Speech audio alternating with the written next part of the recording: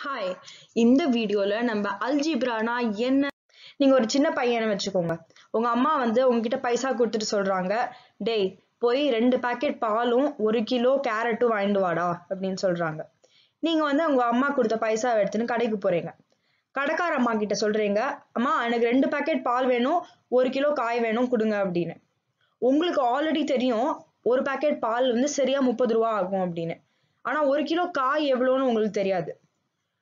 ஆக மொத்தமாக உங்க துணிப்பையில் அந்த அம்மா வந்து ரெண்டு பேக்கெட் பாலையும் போட்டு ஒரு கிலோ காயும் போட்டு உங்ககிட்ட சொல்கிறாங்க மொத்தம் நூறுரூபா கொடுப்பா அப்படின்னு.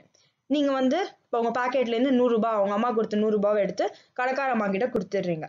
அப்புறம் நீங்கள் வீட்டுக்கு நடந்து வந்துட்டு இருக்கீங்க அப்போ உங்களுக்கு தோன்றது அச்சச்ச நான் வந்து ஒரு கிலோ காயோட விலை என்னன்னு கேட்கவே மறந்துட்டேனே அப்படின்னு உங்களுக்கு தோணுது. எப்படி நீங்கள் டக்குன்னு கண்டுபிடிப்பீங்க? அதுதான் கண்டுபிடிக்கிறதுக்கு ஒரு சுலபமான வழி வந்து அல்ஜிப்ரா மூலமா. ஸோ அல்ஜிப்ரா வந்து நம்ம டெய்லி லைஃப்ல இந்த மாதிரி யூஸ் பண்ணலாம். ஸோ இது எப்படி நம்ம சால்வ் பண்ணலாம்னு பார்க்கலாம். உங்களுக்கு என்ன தெரியும்? ரெண்டு கிலோ சாரி ரெண்டு பேக்கெட் பாலோட விலை என்ன? அறுபது ரூபா அப்படின்னு நீங்க கண்டுபிடிக்கலாம் ஈஸியா ஏன்? ஏன்னா உங்களுக்கு ஆல்ரெடி கடைக்கு போறதுக்கு முன்னாடி தெரியும் ஒரு பேக்கெட் பால் முப்பது ரூபா. அதனால ரெண்டு பேக்கெட்னா முப்பது பிளஸ் முப்பது அறுபது ரூபா இருக்கும் அப்படின்னு. ஸோ முப்பது இன்ட்டு ரெண்டு அறுபது உங்களுக்கு ஆல்ரெடி தெரிஞ்ச விலை. நீங்கள் கண்டிப்பாக அறுபது ரூபா கொடுத்தே ஆகணும். அப்புறமா அந்த ஒரு கிலோ காய்க்காக அந்த அம்மா எவ்வளவோ அமௌண்ட் வாங்கியிருக்காங்க. கரெக்டா அந்த அமௌண்ட் நம்மளுக்கு தெரியாது. அதனால அந்த அமௌண்ட்டை வந்து நம்ம எக்ஸ் அப்படின்னு சும்மா கூப்பிடலாம். சரியா? மொத்தமா அவங்க அம்மா அந்த அம்மா என்ன சொன்னாங்க? கடைக்காரம்மா நூறு ரூபாய் கொடுப்பா அப்படின்னு சொன்னாங்க. ஸோ அதான் டோட்டலா நீங்க கொடுத்த அமௌண்ட் அதுவும் நம்மளுக்கு தெரியும். இப்போ நம்ம இங்க எழுதியிருக்கோம்ல இதுதான் ஒரு சிம்பிள் அல்ஜிப்ராய்க் எக்ஸ்பிரஷன் இதை நம்ம சால்வ் பண்ணோம்னா அந்த எக்ஸ் அப்படிங்கிற வேல்யூ என்ன?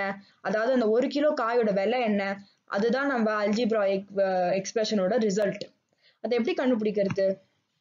அறுபது ரூபா நம்மளுக்கு வந்து சரியா பாலுக்கு போயிடுச்சு.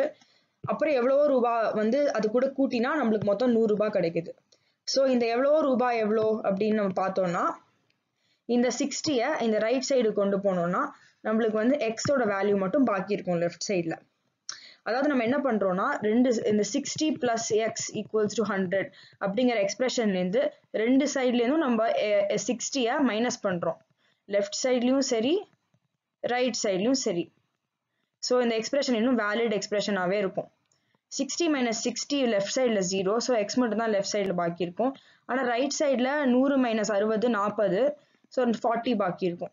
அதாவது நம்ம ஆன்சர் என்னென்னா எக்ஸ் ஈக்குவல்ஸ் டு ஃபார்ட்டி அதாவது ரெண்டு பேக்கெட் பால் முப்பது ரூபா ஒரு ஒரு பாக்கெட் வாங்கிட்டு நம்ம மொத்தம் நூறுரூபா கொடுத்தோன்னா கொடுத்தோம்னா அந்த காயோட விலை கண்டிப்பாக நாற்பது ரூபா தான் இருந்திருக்க முடியும். அதனால தான் அந்த நாற்பதையும் அந்த அறுபது ரூபாய் பாலையும் கூட்டினா நம்மளுக்கு கரெக்டாக நூறுரூபா கிடைக்கிறது. அதான் இந்த அல்ஜிப்ராய்க்கு ரிசல்ட் நம்மளுக்கு சொல்ல வருது. ஸோ அல்ஜிப்ரா அவ்வளோ யூஸ்ஃபுல் ரியல் லைஃப்பில் இந்த மாதிரி நிறைய சுச்சுவேஷனில் நீங்கள் பயன்படுத்தி என்ஜாய் பண்ணலாம் அல்ஜிப்ரா ஆக்சுவலி